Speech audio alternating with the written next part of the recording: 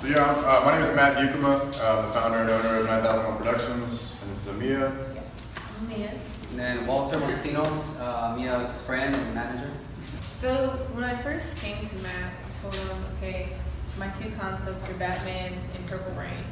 Okay, so he, he looked at me like, all right, cool, I'm down. And that's when I knew, okay, he was the perfect filmmaker, director for the job. So it really, um, my vision was to kind of see, you know, a personal battle um, with yourself and kind of come to the conclusion that, you know, um, you can kind solve your issues. True, true. Um, one of the, I guess, one of the underlying things that um, we definitely had to work with is, um, you know, they say you're working with uh, low budget or micro budget. I mean, we were working with ultra micro budget. You know, we had virtually no money to work with, and so we we had to really draw on all of our resources and pull everything we all, everything we could and draw on our network to to make this you know come to fruition.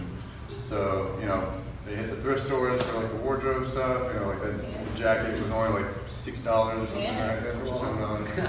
Um, you know, like the, the little tracking device that we use, that was from a pawn shop. I got it for like eight bucks, like the 70s or something in the 80s. Um, but uh, I guess one of my uh, inspirations from a filmmaking perspective is uh, Robert Rodriguez, another Texas filmmaker, and um, one of his mantras is to make it look expensive. So don't necessarily go out and you know spend a ton of money or rent the nicest camera, but utilize what you have at your disposal. Um, I know a lot of you guys come to these meetings kind of as a musician. Are there any? I'm so I'm her manager, so uh, it was pretty cool uh, that I have the opportunity to work with her. Are any of y'all maybe like interested on that aspect of management, musician, or marketing? So I guess one advice, because the way I found this, I was just like searching Facebook. I have like a list of like organizations that I keep keep track of, and of course the San Antonio Sound Garden is one of them, along with many others, San Antonio and across you know Texas and the U.S. So I would like check on them, you know, every weekend or you know once a week, see whatever new opportunities they have coming up, and then developing uh, like a pitch, um, knowing like how to approach these kind of organizations and people. That's another suggestion, you know, for a musician. Try to be professional so you can approach organizations that have these opportunities, so then the musicians can participate in them as well. Because a lot of sometimes they miss that point. Um, I used to intern at SATX Music. Some of y'all may know, and I used to get emails from musicians asking to go to like play a show, and it would be very informal, so it doesn't look good. But then when a musician kind of knows what they want and has a plan set out, that looks very professional, looks really good. So, and then you know, working with these guys has been has been incredible.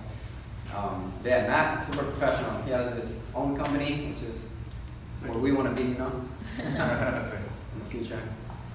Yeah. Yeah, that was awesome. Well done. Appreciate it. Uh, I have a question for you. So, between the artist and the director, what were y'all's favorite scenes to shoot? Um, I would like to hear yours first. Ooh, that's tough. I would have to say the running scenes are kind of fun because I mean I like to work out, but it's Not felt really intense. Yeah, it's not me. It's really intense. Yeah, I had a, I had a gimbal and I was, I was moving backwards and I had, I had someone calling behind me to make sure I wasn't. Oh god, that's my Yeah, character. those are Yeah. really intense. and I like. That'd be a cool shot though. Good Like shot. just fall. Alright, so as a director, what was your favorite scene to shoot for this? Um, I would say that I definitely enjoyed capturing a lot of the aerial stuff. Um, we did a lot of that up in Comfort, Texas. Um, I, I hired a driver for the day, and uh, I was piloting the drone in the my own passenger seat, and uh, all you know the whole production was going 40 miles an hour, you know, through trees, and uh, definitely pretty risky, but uh, I'm pretty happy with the result. And then. Uh, the behind the car shots, you know, I had I had that same drone camera and I had it fixed to the front of my vehicle, and uh, I was able to pull focus and you know control the camera from within my car. Um, yeah, it's, it's definitely pretty cool. Uh, definitely a little stressful to have that much gear on, you know, in that precarious of a situation, but uh, it worked out. So. So, oh, go ahead. Good.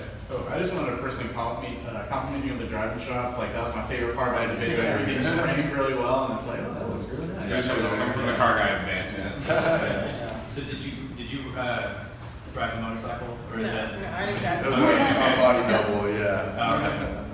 yeah. That'd be my favorite part, if I was actually able to. Oh yeah. Yeah. I was wanted to have a motor, motor, driving a motorcycle, you know, confidence. She gets to drive the car though. Yeah. Yeah. Yeah, actually, whose car is that? Because that's pretty cool. That's a, a friend of ours, uh, Matt, uh, Time Wheel. I don't know. Okay. Yeah, yeah, yeah, I know talking about. Yeah, and I didn't even realize uh, until afterwards how, you know, I guess rare the vehicle I know, was. it's like- Uh, yeah, you had a lot of, I guess it's an AE 86. You had a lot of, like, you know, car nerds coming out of the woodworks and like purely to compliment the vehicle. Otherwise, it's It's amazing hard to too. find, especially in good condition, so it's, Yeah. it's amazing that you were able to find that one, so. Yeah, people are asking like, did, did she drift? So I'm guessing it was a car used for drifting. Yeah. Yeah, So- yeah, it was in like initial D, like I said, Okay. Jack Oh, was kind of yeah. like, yeah. So there you go. Everyone learns to swim up from. right. Yeah, we actually we had a, a car before that vehicle that didn't work out. Um, a buddy of mine uh, works for like a limousine company. Mm. He let us use uh, a '60s Rolls Royce initially. Ooh. The Rolls Royce didn't even make it out of the parking lot. The Battery died, uh, and then we ended up with a '60s Bentley that looked virtually the same. It was all all white, and uh, we made it all the way out to the location and. Uh, she was so she was driving it down the street, and we're getting performance shots. And at the very end of the road, the transmission dies, and so we we had to push it. We had to pop it in neutral and uh, push it around, and eventually take off with it. And the uh, what's that? Is it clutch? Yeah. No, it was actually it was an automatic car. I was surprised. Yeah. Um, so he, you know, he says we need to get back to the shop. He, he starts taking it back to the shop, back back to the shop, and uh, calls me a few minutes later and says, you know, I, I can't even make it that far. Uh, I'm gonna have to pull off in this AutoZone. We, we push the car into a parking space, and uh, he goes to turn it off, and the key breaks off in the ignition. so like every single thing that could have gone wrong in this. Well, and then it stays, it Just stays overnight, and someone tried to break into it overnight. Yeah, they, didn't, they didn't make off with it, so. I have a question, Matt. Uh, Sure. So, when you were listening to the music, like, what was it about you know, that attracted to the song? And did you have some type of preconceived notion of what you wanted the music video to be before you on that? I, um, I've, I've known AMEA for about a year. Uh, actually, in my demo reel, you can see we, we've interviewed her before, and that was, that was the very first time I ever met her or saw her perform. And um, I, I had not had the opportunity to work with her until, until this. Um, but I've always been a fan of her music, uh, definitely you know, respected her craft. Um, but in terms of the video or the, the song itself, I, we had no preconceived you know, sort of ideas or anything. Uh, we, we basically just sat down with her and found out what, what she enjoys, you know, the types of influence that she's had and the things that she likes uh, from a film perspective. And um, we were able to kind of come up with this idea pretty cohesively together. Um, yeah, I think it worked out pretty nicely. Yeah. So if y'all want to see more of me and Matt, we're having an event at uh, Frank right down the road uh, this Thursday. So if you guys want to stop by, we're having like a little party and then performance. We just got back from tour on Sunday. We got back at 3 a.m. We hit, Heck yeah. we hit uh, Dallas, uh, Dallas, San Antonio, Austin, no, Houston and Austin, all in the span of four days. We'll drive, she'll perform, wake up, drive, perform, and all that.